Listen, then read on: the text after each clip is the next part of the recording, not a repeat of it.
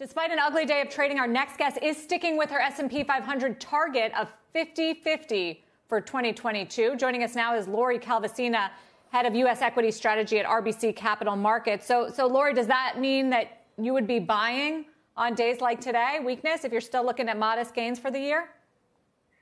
Hey, thanks for having me here today, Sarah. Look, I think it depends on your time horizon. In the short term, I think it's tough to make the argument that the pain in the market is done. I think tech is a bellwether for what's going on broadly, and tech shares, unfortunately, just don't look cheap yet. And when rates are rising, you want to own cheaper stocks, not expensive stocks. So we've really got to see that tech valuation froth come in a bit more. Now, I do think we will get to a buying opportunity. I think we're going to end up with a decent year, a 6% type return. That is nothing heroic. But if you're trying to peg that absolute bottom, we're probably not there quite yet.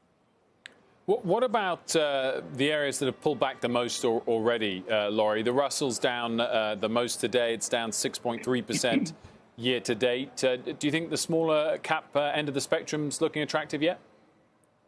So, look, I think the problem, Wilf, with small caps is that they've looked cheap for quite some time, and they should have really been doing well to start the year when the financials were doing well, when the energy stocks were doing well, and valuation was simply not enough to get people back in the small cap space.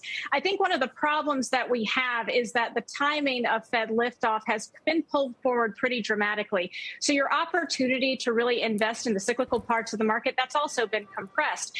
And frankly, large caps simply have higher quality, small caps have valuation appeal, but they also have lower quality. And this is a time when you really do longer term want to be shifting back into higher quality. So I think it's just not a good mix of sort of the lower quality and the cheap valuations. I think people are not quite willing to go that far out on days when they're willing to invest in cyclicals right now.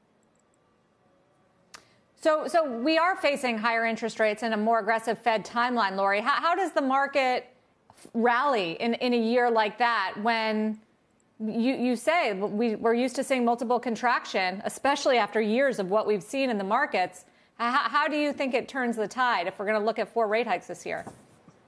Look, if you go back and look at what happens to stocks when the Fed is raising rates, typically stocks do actually manage to rally through that. We do see an impact on multiples. How bad the compression is, how long it lasts, depends on what multiple you're looking at.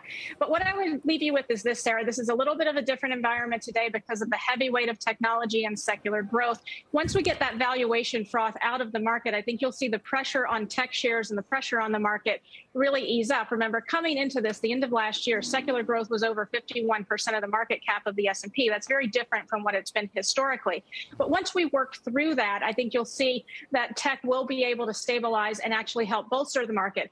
And just remember this about secular growth, Sarah, that secular growth tends to really not do well heading into the first Fed rate hike. But after we get liftoff we do, do, normally see the cyclical trades, the value part of the market stops leading and secular growth takes back over. I think that's in part because markets sniff out a slowdown in economic growth that is actually friendly to the secular growth trade. And 2023 GDP expectations are already for growth to go back to average type levels. So I think this is a very complicated year, but I do think ultimately tech will start really benefiting from the secular nature again once that valuation froth is out.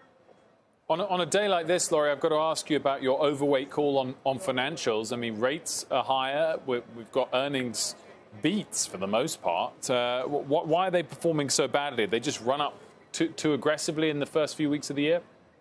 It, feels like that happens a lot heading into reporting season. Remember, we've had a lot of financials come in today, and financials do tend to be the early you know, sort of leaders. They tend to come out first when reporting season really gets underway, and they have the spotlight all to themselves, which unfortunately is not always a good thing when they do have such a significant run up.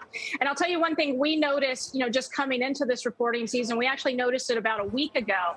Um, financials don't actually look cheap anymore. They don't look expensive relative to the S&P, but we actually noticed on our model the relative PE multiple had gone back to the long-term average about a week ago. So we think that the bar is a little bit higher for the financials going forward forward.